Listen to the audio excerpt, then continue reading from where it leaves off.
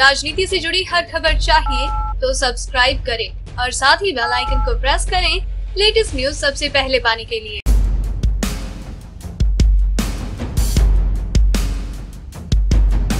Bharatiya Janata party के राष्ट्रीय अध्यक्ष अमित शाह ने बुधवार को विपक्षियों पर बड़ा तंज कसते हुए कहा। सोमवार को बसपा अध्यक्ष मायावती तो मंगलवार को सपा अध्यक्ष अखिलेश प्रधानमंत्री बनेंगे।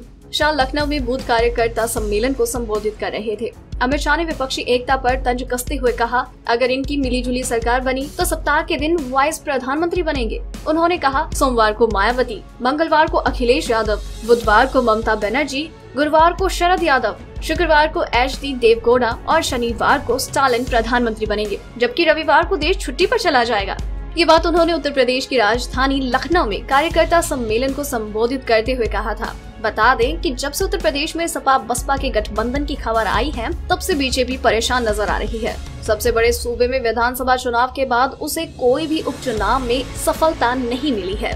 उसके बाद सपा बसपा के गठजोड़ के ऐलान से उसकी परेशानी और बढ़ गई है। ठीक उसी समय कांग्रेस ने अपने मास्टर स्ट्रोक प्रियंका गांधी को लाकर खेल दिया है। हालाँकि ये भी गर्द में छिपा सवाल है कि कांग्रेस को उसका कितना फ़ायदा मिलेगा। ये तो आने वाला वक्त ही बताएगा। लेकिन बीजेपी अब कुछ राहत महसूस कर रही है कि कुछ न कुछ लड़ाई अब त्रिकोणिया होगी।